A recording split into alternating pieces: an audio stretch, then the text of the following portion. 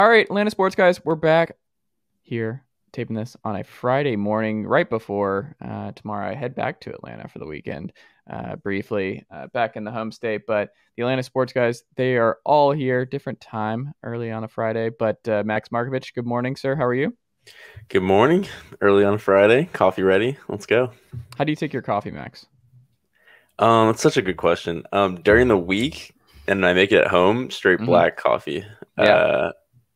During the weekend, when I'm like going out and buying it, a little bit, a little bit of cream, a little bit of sugar, not a ton. Okay. See, we follow the same Okay. ethos because I, if I'm making it at home, I it's black only. Like I'm, I just took a sip of black coffee. Like it's very important. Black coffee is very important by itself. But if I'm going out, I'm not going to buy something that I can just make at home. I will refuse. Completely I will agree. never buy black coffee out and about. Like it's always going to be a latte. It's going to be like I can't do a latte at my house. Like that is something where you have a talent that I don't have, and I'm going to make it worthwhile. But black coffee seems like the biggest waste of time to buy somewhere else because I could just do it in my house. Why would I do that? Max, I thought you were about to say that you're going to put whiskey in your coffee, like I have a little Irish coffee. It's like, oh, it's a weekend. Yeah, this is fine. I'm not above that. I thought you but were going with that, but yeah, yeah, not not today. Maybe tomorrow. maybe some Baileys in your coffee. That'd be pretty good. Garrett I used to drink those. also I used to drink those before Atlanta United matches. Whenever I would go like early in the morning. Ooh, perfect, perfect Okay. tailgating coffee. the best like drinking stuff like weekend drinking stuff for me was always hottie toddies like love i like hot tea a lot and just the hottie toddies like getting that in asheville when you're in the mountains i don't know i I feel don't like know if that's I've ever had a hottie toddy. I love hottie a hottie toddy. so good I don't think I've ever had Super one. good. It sounds is it so? It's just hot tea and like what is it? What's in it?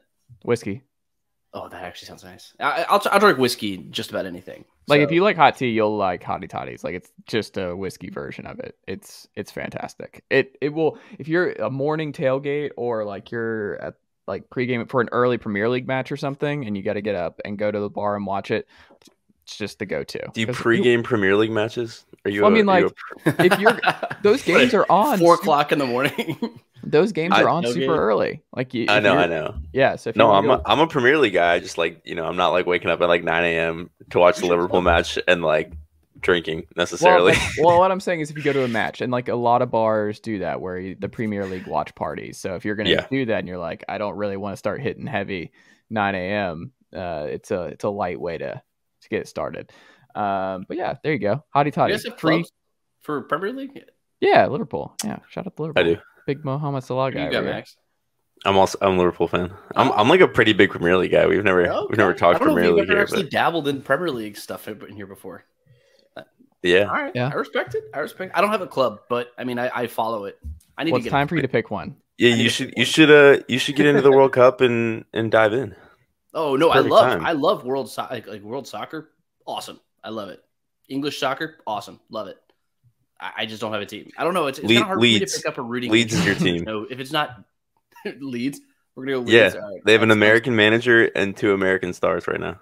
Yeah, it sounds like they uh, they're finishing bottom of the table. Yikes! No, no, they're they're mid table. Really, They stayed up this year. they're Yeah. mid-table. I should like probably that. cheer for. I've been told I should cheer for Tottenham because I'm an Atlanta sports fan, No, No. and just because it's just like a consistent let you down type of team. I have I thought you are were Arsenal gonna say, fans. like that's the majority of Atlanta fans. I wonder what the uh, majority of Atlanta fans are in the oh, Premier it League. varies. My older Yeah. brother's a Chelsea fan. Mm. My friends are Liverpool fans and Arsenal fans. It, it, it spans. I have a couple Man City, Man U fans, Hmm. but not many.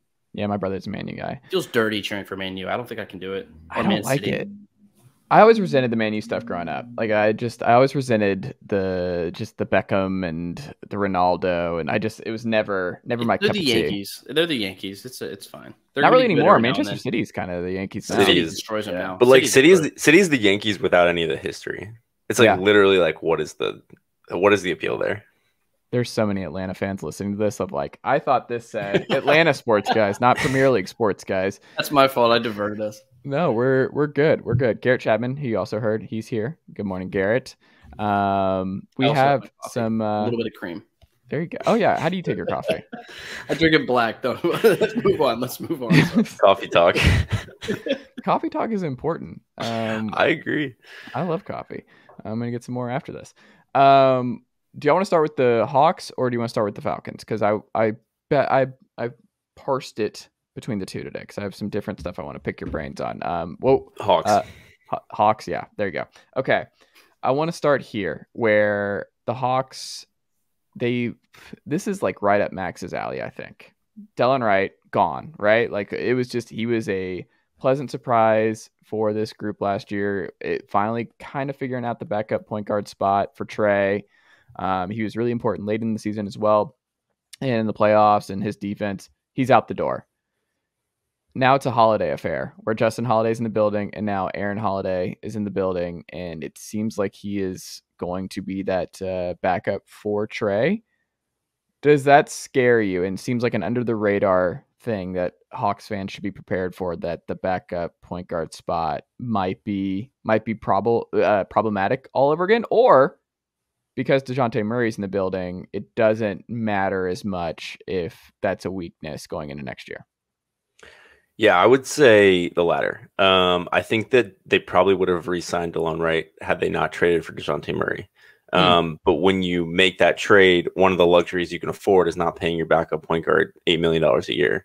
Um, and so, like their backup point guard effectively is going to be Dejounte Murray, and then Aaron Holiday can eat some of those other minutes. And I like Aaron Holiday. You know, like I'm not like a. It's not like I've been grinding Aaron Holiday uh, tape, but like I liked him in college. Um, and I think he's sort of a lighter version of what Delon Wright brought you anyway. So like it's sort of just like one of the luxuries you can afford with the DeJounte Murray move is that you would think, and we've we've already talked about this a few times, that um, that Nate will uh, will will be smart enough to stag Trey and um, and Dejounte is like, you know, a rich, rich, rich man's version of Delon Wright, kind of. Um, so I think I think one of the things that was super important about DeLon Wright was being able to come in and run the offense. Like that was something in the first few years of Trey's uh, career that the Hawks just didn't have. Was like a functional second unit, um, and and I think DeLon Wright kind of brought that. Dejounte Murray, you're hoping that that's going to be a strength. You're hoping that second unit can be a full fledged strength, and so. No, I'm not worried. I'm worried about other things. Um, I'm worried about the wing depth in particular. Uh, I'm worried about uh, DeAndre Hunter in a number of ways. I don't know if we're going to talk about this, but um, Jake Fisher, I think, reported that the Hawks and DeAndre Hunter are not close on an extension number. Um, we'll see on that. But that is not a bunch of injury I'm about. protections in that. You would hope. You Yeah. would hope. I don't know. Maybe he's just like, yeah, no, I'm good. Like, let's just what what do you need injury protections for? I'm good. I'm healthy. This is it. 82 games. Let's go. What what's Like he be saw the worried- Lu Dort number and he's like, "I'm I'm Lu Dort times two. Can Contracts I- are out of Is this a take? I'd rather have Lu Dort over the next three years than DeAndre Hunter. Is that okay? Is I, I think that's like, an, there's an argument for it. I'm gonna get games out of Lu Dort. I know I'm gonna get great perimeter defense from Lu Dort. I know Would you want to give Lu. Dort five years, eighty-seven million though? I think Lu Dort's gonna be solid really for five years, 87 million. I think he'll be fine. I know I'm gonna get double the games. You know he's gonna play. Yeah.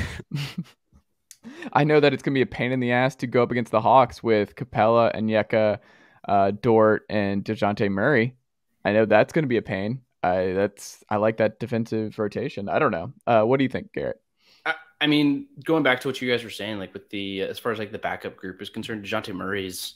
I mean, he's going to be your guy. I mean, like, you're tra- the whole reason you traded Kevin Huerter is so that you can clear out minutes for Dejounte Murray to play. Mm. Um, Bogdan Bogdanovich, he, he can take the ball up the court if he needs to. This is purely a depth piece. Holiday is he's a guy who can do. He has comfort with that's what he talked about in his his, uh, his presser when he got introduced to the team. Um, he has comfort. I mean, his brother's on the team. He know he's played with some of these guys before. He's he played under Nate McMillan in Indiana, and that's really the biggest thing for him.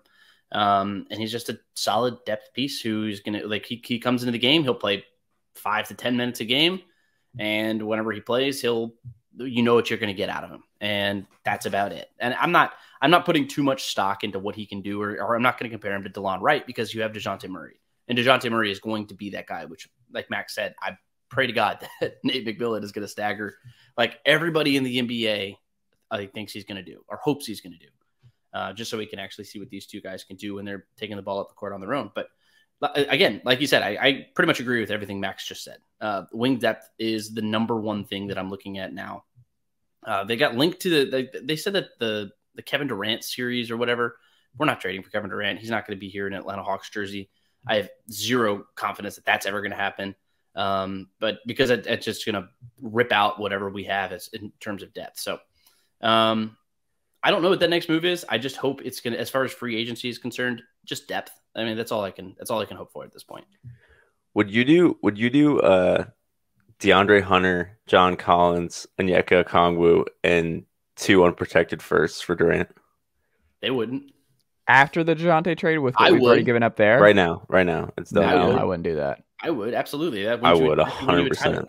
Yeah. Here's the you want a problem with- that. No, but they won't accept that. Did you Well, see? I, I, I, know. I'm just saying, like the Durant market really seems to have like gotten kind of weird in terms of like what teams are willing. Like if if the Pelicans aren't going to give Ingram, if the Raptors aren't going to give Scottie Barnes, like what is the market? And so I'm not saying it is really any chance of happening, but I was thinking about it last night. And if the Nets were really trying to stay competitive, and they could get an All Star in John Collins, you know, an emerging potential All Star slash sub All Star starter type of guy in DeAndre Hunter, and then Onyeka Okongwu, who is like a legit potential All Star, I think. Um, that like in terms of player uh like compensation, that might be the best package of players they can get. Now, I think the picks being gone for the Dejounte Murray thing really holds it back.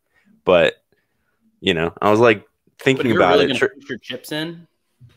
right, Trey, Trey, Dejounte Murray, Kevin Durant, and Clint Capela, and then whoever else you put around them is like a championship caliber team. Here's the problem with that. You're building a team around Trey Young and Kevin Durant's personalities. And I um I don't think that's lasting long. I don't think that's a I just I don't think you can trust where KD's head's going to be at, at year to year. And I think th- with how much things have shifted in terms of what contracts actually mean for these guys, like I just I would not I understand you get a title, great. It's also what the Nets thought. They thought they would get at least one. Like they were stunned. Like the fact that they did not get anything, anything, not even Eastern Conference Finals, NBA Finals appearance with James Harden, with Kyrie Irving, with Kevin Durant. I just, I don't think I would go anywhere near that. I think I would keep building. I would definitely see what we at least have in Dejounte and Trey and see how they work together. And I just don't want to get in the Kevin Durant business right now. I think there are teams that are just like the teams that can get in the Kevin Durant business are like the Lakers, the Heat, the the teams where they're already a free agent destination where like they can figure it out. They can always get back and attract free agents even if they make a bad trade for a disgruntled superstar. They'll be able to bounce back. But if you're the Hawks and you bet wrong on that and you surrender all that depth and you surrender all that draft capital, you're looking at 10 years of just horrific uh, implications. And I don't know. I I wouldn't go near it. I, I as cool as it would be to watch Kevin Durant as an Atlanta Hawk for a year, I'm not even the least bit convinced he would be here past a year. And if things didn't go right right away, that'd be it. And if he didn't enjoy the lack of usage and playing with Trey and whatever, like I just I don't think it's worth it. And I think that locker room, you want to I just don't think that would be uh, I think the reports would come out uh, not having a good time, folks, is uh, what would come out uh, specific I, I I could be wrong, but that's just No, what I would- it, it it will not happen, and we don't have to Mhm. spend more than like two minutes on this. But I was just like something I was thinking about of like if you put those four together, like that is a that is a championship level team. If it you know if everything worked out, and I do think the KD stuff, like I think it, had- the stuff in Brooklyn had more to do with who KD put himself around than KD himself. Yeah. Um, and I'm not saying Trey is the right guy necessarily to put to put around KD, but uh, yeah, I that, that was kind of my only. I had that thought yesterday as like the market around KD is getting, I think, pretty weird. Yeah, they asked for Karl-Anthony Towns, four picks, and Anthony Edwards. Yeah, it's like, what does that even? Are you are you high? Like, I'm sorry, like that's ridiculous. Like, I mean, it should start with one of the two. Like if we you should want start this, with one of the two, yeah, not, not, both. both. But I and respect it. Oh yeah, if you're gonna ask for it, I mean, ask for Mm-hmm. it, whatever. And like, I'm hanging up the phone. Like, I'm sorry, Kevin Durant's a generational player. He's one of the mean, greatest. he's still a top two ever. player in this league, like when healthy. It's just if you want him right now in his prime, and this is not even just his prime. This is the last three years. Like this is it. Like this contract. Is Yeah, I mean, he's also 34, and his health has has taken a bit of a dip uh, since the since the injury, and you probably have two to four years. Yeah, Like you have it. to be able to capitalize on the two to four year window. So why is Minnesota trading Edwards and Towns to not be competitive with Kevin Durant for two to four. You know, like and so like no one really meets that that gap. I mean, there's like one or two teams maybe who could Toronto, uh, New Orleans, um, you know, whatever Phoenix, obviously, but yeah. I just don't like the Phoenix offer. Like, and I I feel seems like Brooklyn doesn't either. Well, I feel vindicated on the DeAndre Ayton stuff. Like that would have already happened, and like the fact that Detroit was still like the only rumored like max team in on him, I feel vindicated about the folks who were like Atlanta's got to get in on this. The DeAndre Hunter buying, and I'm like, I don't think so. I don't think I don't understand why anybody would want to jump into the DeAndre Hunter, uh, DeAndre Ayton, uh, max Freudian, Freudian slip there. I know, right? um, I just I don't. I think there's a reason that he's still floating out there, and the max offer has not come and i i think it, that complicates stuff with the phoenix deal too is that like they're probably waiting to see what he does and what kind of offer he signs and then like that just but affects no, what but, t- but what's complicated offer. no but what's complicated is that he if he goes out and signs an offer sheet they can't sign and trade him they would have mm-hmm. to sign and trade him before he signs an offer sheet so they have to be like have to play this game of is he going to sign is he going to go out and get a max offer sheet and then we have to decide on that should we preemptively sign and trade him should we wait until the market chills out i don't know Zach Lowe mentioned Indiana. In. Indiana makes oh why? What is what? I I can't I I can't answer that. I'm just saying yeah. that I he said it on his podcast and that Indiana can't make the offer until the Brogdon trade is official on Saturday. That's so, so strange. We might get news on that this weekend. That would just be. I just clearly Brooklyn doesn't want DeAndre Ayton. Like I think that would be already part of it, and I'm very surprised that Steve Nash and the co- Steve Nash coach team does not want DeAndre Ayton and to max out a big and make him a priority, like uh, just as a low post guy and just the style that he would need to play to make that contract worthwhile. It's not surprising that that's not where they're going and not an interest to them. Mikal Bridges, great player, but you're still getting significantly worse uh, moving KD for Bridges and Ayton. I, I don't know. I don't like the Phoenix offer. To bring this back to I don't know where we started on this, but um, coffee, coffee, of course. uh, do we like what do we think's going on with John Collins right now? There's it's been like very quiet, and there's been a lot of like I think I think Marc Stein maybe said he still expects Collins to get moved. Um, but there's been no traction there, and it doesn't really seem like there's any offer out there that actually makes the Hawks better. And the consensus fan agreement is like the Hawks are probably just better keeping him. Um, but we also haven't heard like did John Collins ask out? Does management is, is management doing this on their own? Like, what's the deal? And I just like don't know what the read is there because I feel like the roster as constituted right now is a is a really good roster finalized. Um, but it just doesn't seem like they're done, and I don't know what the move is. What do you think, Garrett?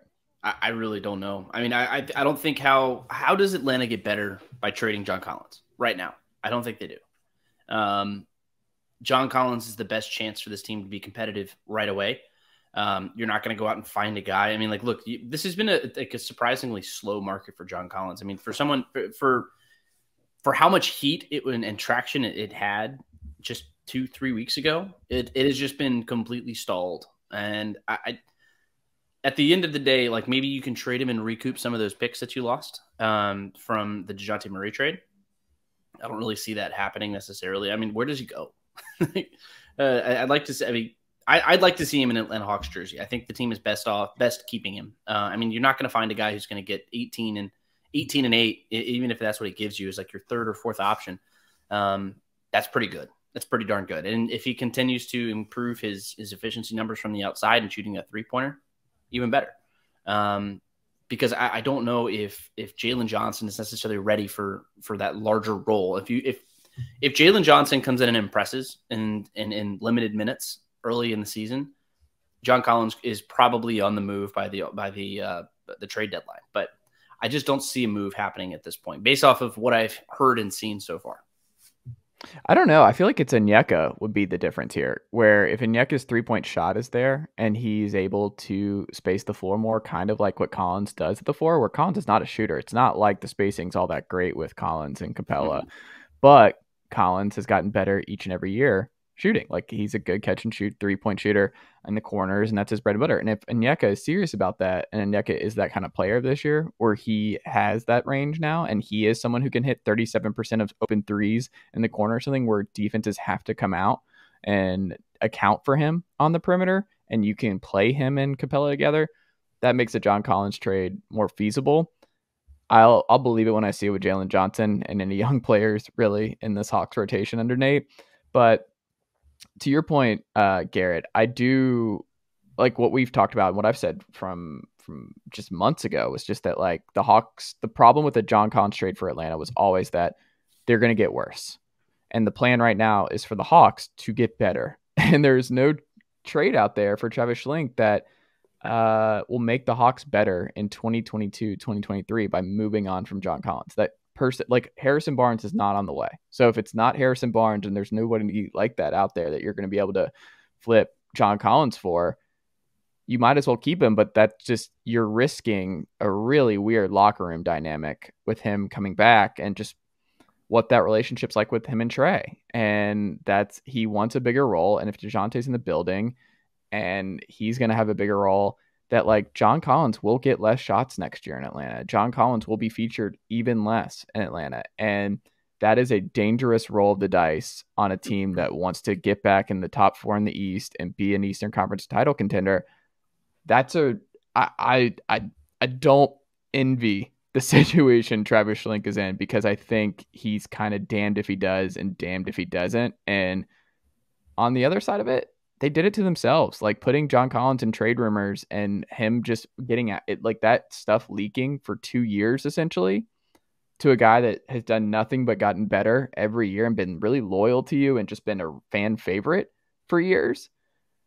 I mean, Collins is right to be upset and want out and to feel kind of undervalued by this organization in a lot of ways. I don't know. I, what do you, what do you think, Max? I, I think part of the on-court assessment is like if his role is going to decrease and his role is going to strictly be like catch and shoot threes, you know, roll dunks, like that's kind of it, then like someone can fill that role on a cheaper contract and you can recoup some of the future assets, right?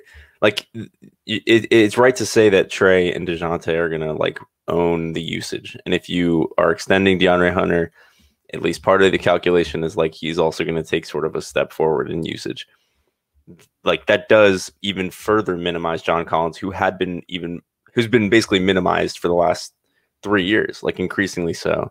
Um, and I think that the point of like the trade, like you're not getting better by trading John Collins, but you also might not get worse if you're filling mm-hmm. someone who can who can fill that shooting role, who can defend and like do 90 to 95% of the things John Collins does in this offense anyway um, not be 90 to 95% of the player John Collins is, but to like do the things that he does in this offense.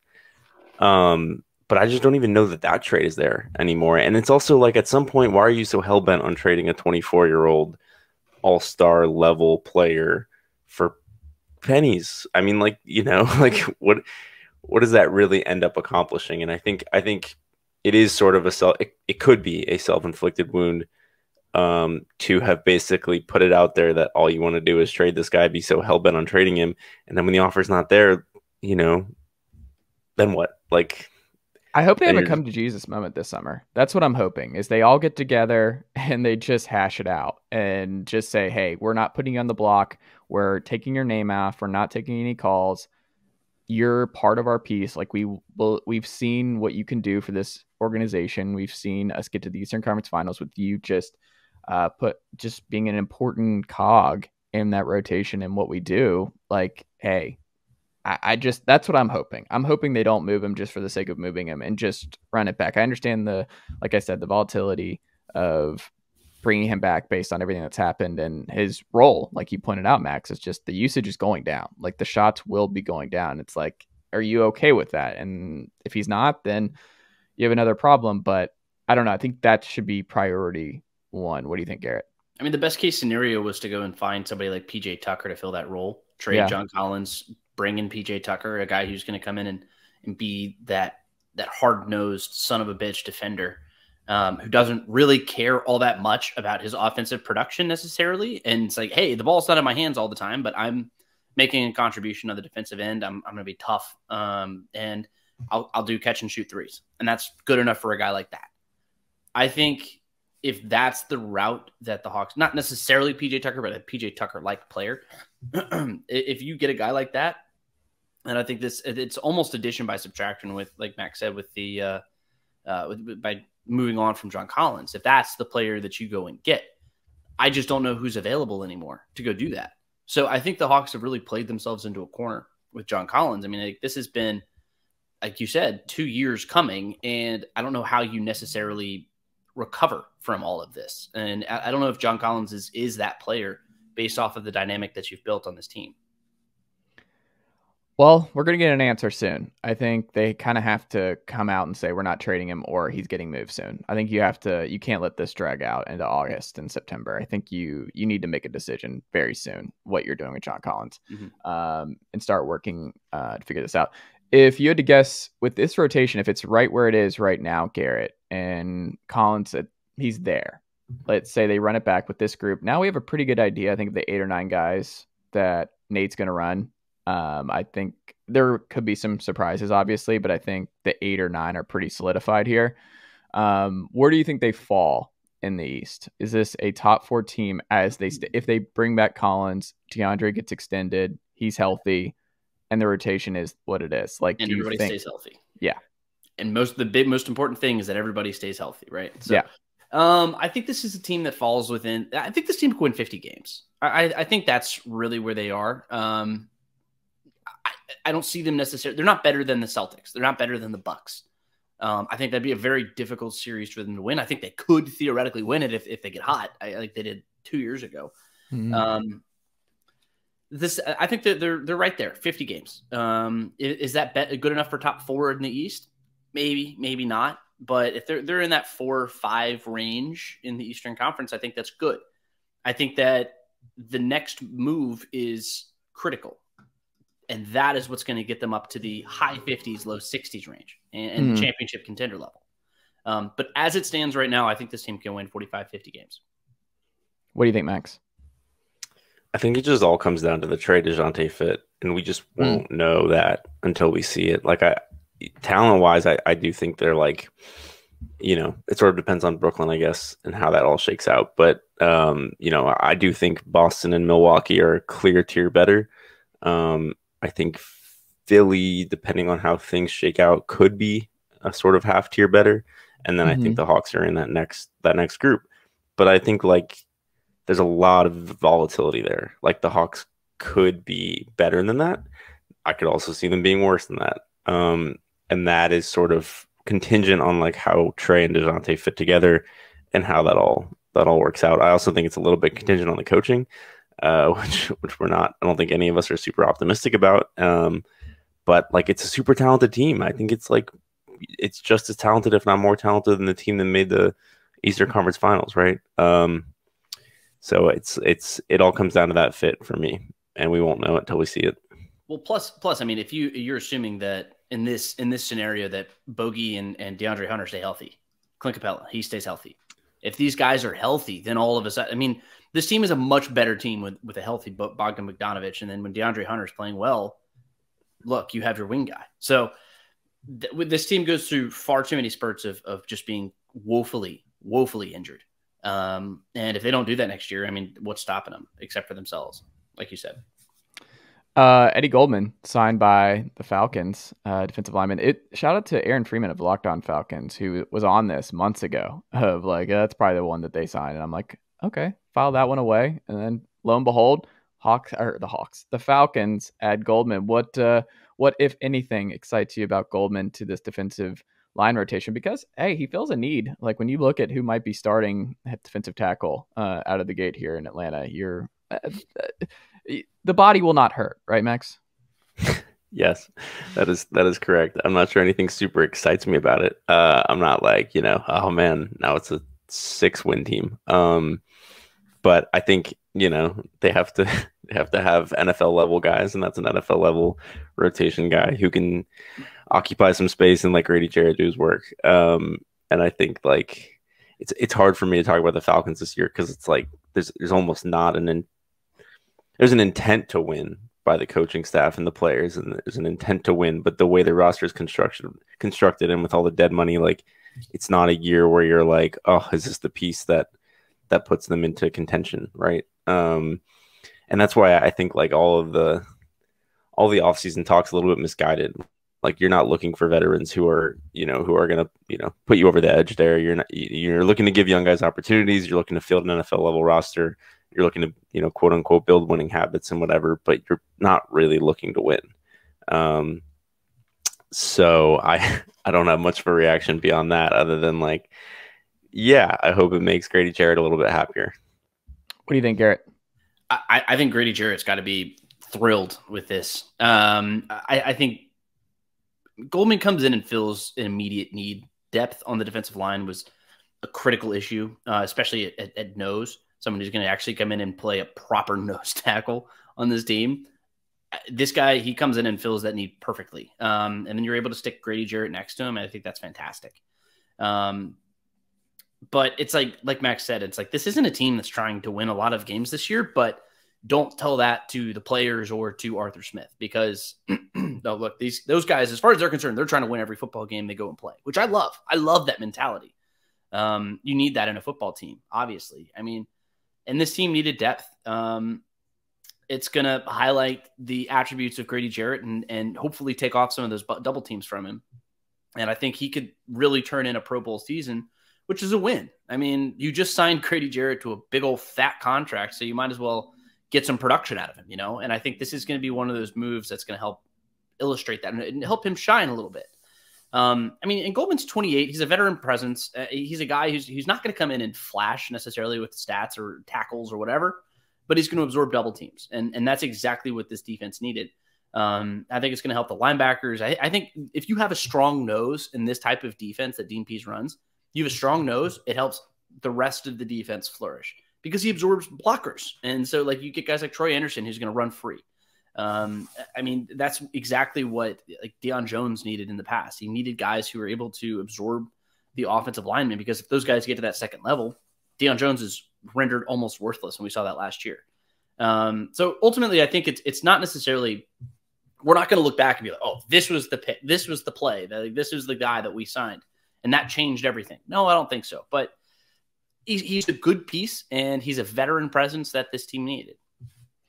I like it when Ryan Pace just like sent a text to uh, uh, to the to our current GM uh, Fontenot and just being like, uh, "Hey, is it my turn? All right, yeah. What what do you got, Ryan? What do you got? Okay, if there was this guy in Chicago that I liked time. a lot, huh?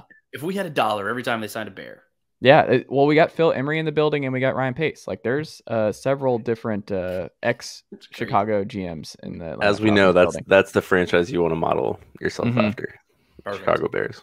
I mean, I like it. Um, we'll end on this. So the Falcons, they all they've signed Goldman, so that'll be fine.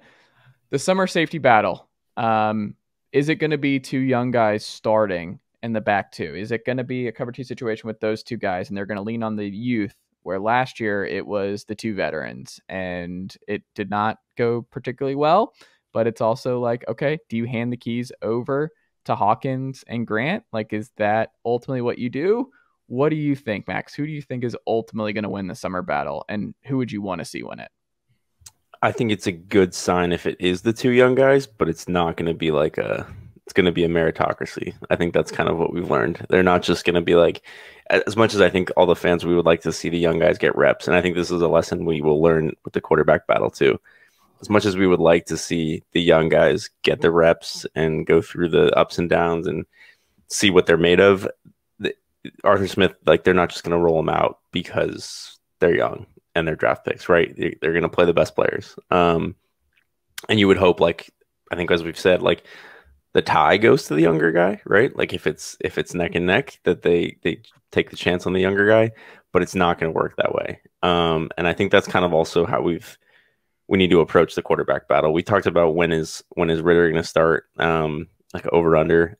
I don't. I I would be very surprised if like week one they were like, eh, let's just let's see it. I don't think that's going to be it. Um, and I know Chase, you might disagree on that one, but I think it's it's they're trying to like Arthur Smith is like gets pretty pissed everyone every time anyone says oh, you're not trying to win, or you know, it's a rebuilding year, or anything like that. No, he's gonna they're gonna play the best football players. Um, and I do think there's optimism that um, Hawkins in particular is is going to, I think, be a starter. Um, and I think that they like him a lot. Richie Grant, like we just got to see it, and like they're not just gonna say you were you we invested in a lot in you, your second round pick, figure it out. Um, so if he's not one of the best guys, he's not going to play right away, and they're all going to get a lot of reps. So we're we're going to know by the end of the year, like can Richie Grant play, um, one way or the other. We're going to know. Um, so if I had to bet by, by the end of the year, I would say the two the two of them have the most snaps. Um, but I don't know if it's going to start off that way. What do you think, Garrett? I don't think they would have re-signed Erik Harris if they were completely convinced that these guys mm-hmm. were ready to play. Um, Erik Harris, he was on a he was on a one year deal. He would not have come back if if they were completely convinced that these guys were ready to go. So are they ready to go? No. but uh, I mean, I talked I, I, talked very very highly. I spoke very highly of Richie Grant last year. Mm. Um, I mean, I thought he was going to be uh, come in and be an immediate impact player and be a defensive rookie of the year candidate. That's really what I saw from him. I still think he can take the uh, one of the biggest leaps of anybody in this draft class. He and Jalen Mayfield on offense. Um, look, he's a ball hawk. He's a guy who's a perfect free safety. He's a guy who's going to come in and hopefully take that job. And Jaylinn Hawkins is a he's a tough dude, and he's he he can also like play coverage very effectively. Um, but they're young and they're inexperienced. And Richie Grant played out of position almost the entirety of last year. He played in the nickel most of the time, just out of necessity. Um, so I think Erik Harris is going to be the veteran presence. He's going to get snaps. Um, it wouldn't surprise me at all to see Erik Harris start at either one of those positions because um, that's one thing about most of these guys is that they can play both positions pretty effectively. Um, I, I, think Erik Harris will be the starter at first, and then it's going to drift over whoever plays better. So it could be Jaylinn Hawkins and Erik Harris, or it could be Richie Grant and Jalen Hawk uh, and uh, Richie Grant and uh, Erik Harris the the young guys I think are going to have these jobs by the end of the season. I, I, just it's year two of the Dean Pees experiment on defense, and uh, he's supposedly is un- unveiling the rest of the playbook or whatever. Mm-hmm. Um, and I think that these guys, as the season progresses, this, they're going to build it around these two safeties. And uh, I I, th- I, really like these two guys. I think they, they could be a bright spot for this defense in in 2022. But um, I just got to see him play, like Max said. We just got to see it actually like, manifest itself on the field, um, because most of the time it's been mostly talk uh, up until like this fall. So I want to see what they can do. But uh, outside of Grady, I mean, I, we're a year away from this being an extremely young defense. Like I don't know if y'all have looked at it, but the turnover now we're looking at Ta'Quon Graham, fifth rounder last year. You've got Grady, who's obviously older, but you just drafted Malone. He might be on the outside next year. Um, he's a third rounder. You get Troy Anderson, Mykal Walker, who's still a fourth rounder in 2020. In 2020, um, you go to Ebiketie, who obviously this year, AJ Terrell, t- 2020, Jaylinn Hawkins, 2020, Richie Grant, 2021. I mean, you go up and down the list. Like these are all guys that you've drafted in the last two to three years. Like they're banking full on, we are scouting and developing our entire defense through our draft. But I, I also think you're a year away from like uh, what I hope to get from this year is to identify which of those young guys can play, which of those young guys can't play, and then filling in the holes through free agency. I mean, you're you're you're a year away from an ungodly amount of cap space. Yeah. And so a- allocating that cap space responsibly, I don't think they're just going to throw money, but I, I do think they're going to like supplement a lot of these young guys with veterans. Um, and you would hope safety is not one of those spots because of what they've invested at safety. Um, but you know, it, you kind of just have to see who can play and who can't play. Like I think they're they're optimistic at linebacker. Um, I think you will probably end up supplementing some of this edge rush. Um, even if mm-hmm. Ebiketie's a stud, like you you have to. And I think you know they're optimistic at corner, but you know Casey Hayward's not getting younger. Um, so I think I think that's part of the equation too. Is like throw out these young guys, see who can play, and cut bait when you know that it, like you know you're not just going to be beholden to like a second round label, right? You're not just going to say, "Oh, we invested so much, we have to. This has to work." Mm. Um, and so I think I think that's part of it. Is like the offense. There, I think there's I have some optimism that the offense is going to develop and you have the weapons to like be a, a good offense eventually with what you have. Uh, I think the defense is where you're really going to want to supplement with with veteran free agents, especially because of that youth. But it's for those reasons that I think that this team might be a little better than people expect them to be. Um, some people peg them as like three, four wins. Garrett's already I, there. Wow. No, it's going to be no. The thing is, I'm like, not is, there. Like they're they're they're going to be competing. I, I just want to see them be competitive in football games. Um, they're they're going to lose a lot. Like they're going to lose a lot of football games. I'm not. Don't don't don't get it twisted. Um, but I think that this team is is better than people give them credit for, just because the pieces are there. They're the kind of raw tools. Like you just gotta, but they just gotta continue to develop. I also think like there's a huge difference between like, are you the Jaguars or are you the Lions? Like, yeah, the Lions were a competent NFL franchise that was like well coached and put together and didn't have the talent to like be like a playoff team or anything really close to it, but they were like competent. The Jaguars were incompetent, and I think that you would hope that you're not incompetent, right? You would hope that you have the infrastructure to be like a competent, well coached, just like deficient on talent team. And I think that's like that's the goal, right? Is it's not like a win total. It's like a, are you competitive? Do you like show signs of like being a a normal NFL franchise? Couldn't agree more. I mean, that's why Arthur Smith and like I would uh, like I understand having talked to just so many coaches that they just don't. That's such a crappy thing to ask them about is coaches don't see that day to day. They their Smith's goal is like, do they get our scheme now? Is like, are how comfortable are they with our guy? Like, are they like they're just they don't think in terms of wins and losses. That's just not how it works, and they're not tanking that way. And they're looking at like, oh, this position group got this much better this week. This clicked with them today that hadn't clicked with them all year long. Like that's just not at all and based in reality for how coaches see it. But like ultimately, it's a reflection on Smith more than anyone. Hmm. Um, mm. I think that that's sort of like the best. It's it's it's hard to gauge um, quantitatively because like wins and losses don't always tell that full story. But like right, this level of competence, like are you the Lions or are you the Jaguars, is a reflection on Smith versus or sure. uh, uh, Campbell, Dan Campbell versus Urban Meyer, right? Yeah. Well, we got to run. Uh, Garrett's a busy guy. He's on the radio now. He's got his own show on the weekends. Like, uh, how was that? You're now an on-air guy It was incredible. It, it, was so much fun. And if it wasn't for the fact that I was um, taking the girlfriend to the lake this weekend and already booked everything like month like a month in advance, uh, I'd be doing it again this weekend. But I'll be I'll be back on air next weekend. Uh, we're calling it the Dopey Millennials. There are two of us, mm. both millennials. So right, and they yeah. call us the Dopey Millennials at the station. Just all the young guys there. So we we decided to make it our own. You know, um, own it. Millennials aren't y- young anymore, by the way. When is it going to register for people like millennials? Yeah, there's like 40 year old millennials. Yeah. Oh, like, yeah. Yeah. We're not, we're not yeah. old. I mean, young anymore. Like, that's just not reality. So when Max and, I, about... Max and I are basically like the, the bottom of the barrel. I'm Gen Z, technically. That's yeah. what I'm saying. Gen Z is what people mean when they say millennials. Basically, 100%. yeah. Now, now it's like the 21 year olds are like, "Oh, you millennials." It's like, no, it's a millennial. What are you talking about? And but, yeah, I, I hate I'm that old where I'm like, hey, refer to us as who we are, which is old. That's who we are now. Like we're not we're not young. What do you mean? We're, we're, we're influencing culture, Buying houses and, and having children and whatever. Buying houses in this economy? Yeah, no, nah, not for a few years.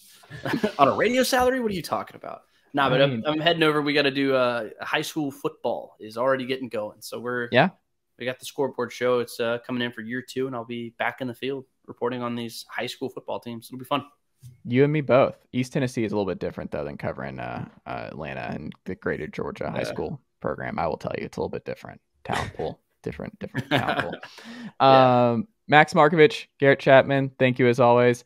I greatly appreciate it, and I will talk to y'all next week.